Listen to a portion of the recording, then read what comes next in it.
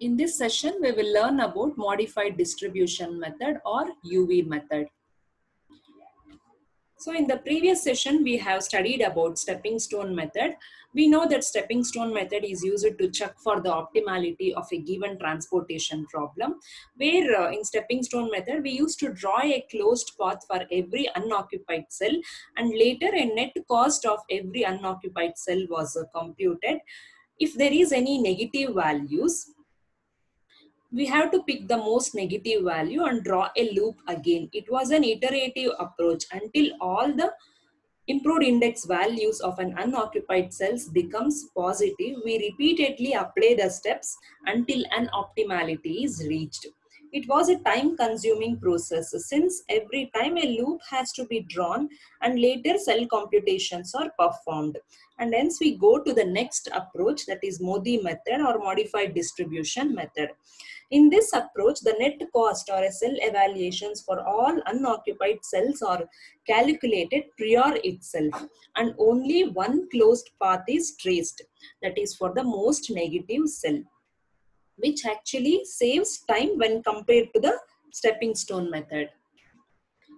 So now we will see what are the various steps involved in this modified distribution method.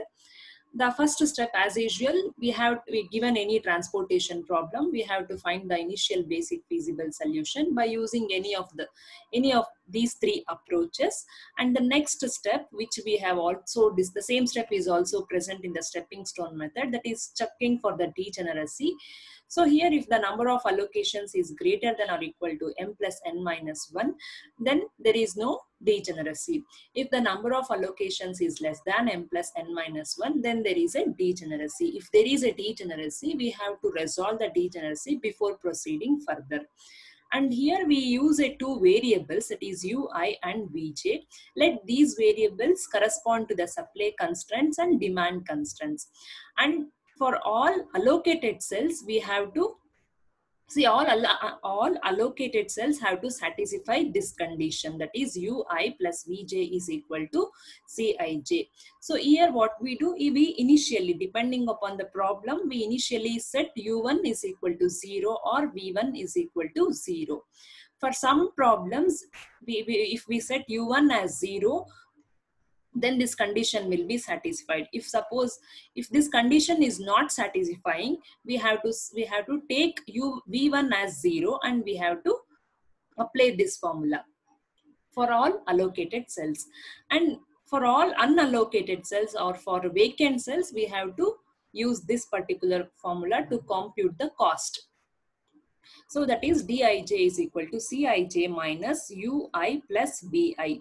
So once we apply this particular formula for all vacant cells, there can be a three conditions. What are those three conditions? That is the Dij, the Dij value can be greater than zero or it will be equal to zero or it can be less than zero.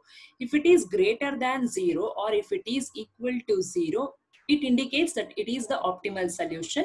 We don't do anything if it is less than zero if it is less than zero means a negative value which means putting something in the negative value cell will actually reduce the transportation cost. And hence we go to the next step. So what is what is the next step? We have to select an unoccupied cell with most negative cost.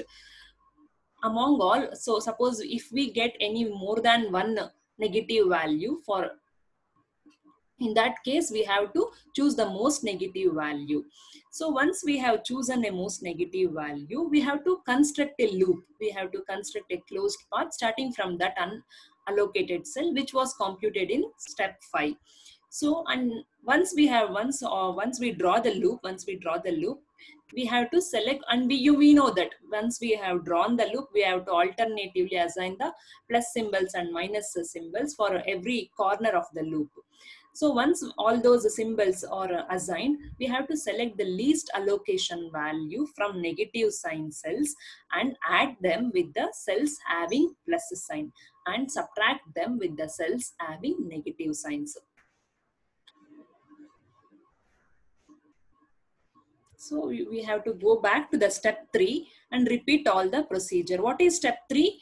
see for uh, every time we have to compute this one okay this is all for allocated cells also we have to compute and for unallocated cells also we have to compute once this value okay after computing the cost is for a vacant cells. If there is any negative value if there is any negative value we perform these three steps. We perform these three steps.